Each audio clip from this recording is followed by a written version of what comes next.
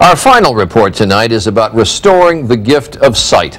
The government is currently reviewing clinical trials on a new technique which for the first time allows people who have gone blind to regain some of their vision. It is definitely medicine on the cutting edge. And here's ABC's Brian Rooney.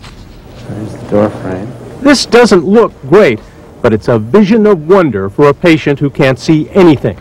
It's bionic sight using a miniature camera on a pair of glasses that send images to tiny electronic chips inside the eye. The cable would come in on the outside of the eye and then go in through a tiny slit into the eye. Researchers have put these chips in the eyes of two blind patients. Do you see anything? Any light up there? Oh, yeah, oh, yeah. What they've been able to see so far is just 16 pixels, 16 dots of light like light bulbs in a scoreboard. If scientists can find a way to increase the resolution to a thousand pixels, it would look like this. A face becomes recognizable. That's a usable image for somebody who hasn't been able to see anything. That's Oh, oh boy, is it ever. It's roughly the quality of a poor television picture with a one second delay. you're on my left.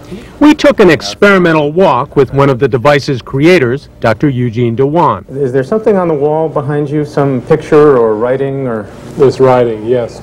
M A R Y Mary D. I can see the period.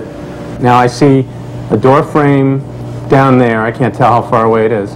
But there's one, there's a door frame right here.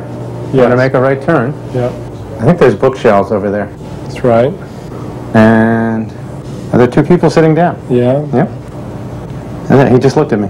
This artificial vision is designed for people who had sight and lost it to deterioration of the retina. Their brains are accustomed to seeing and even have the ability to fill in a sketchy picture.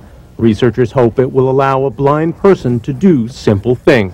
Pouring water into a cup, sitting at a table, being able to see your plate, your fork and knife, those sort of things are really, uh, really important. The device is years from practical use, but researchers say they now have artificial eyesight in view. Brian Rooney, ABC News, Los Angeles.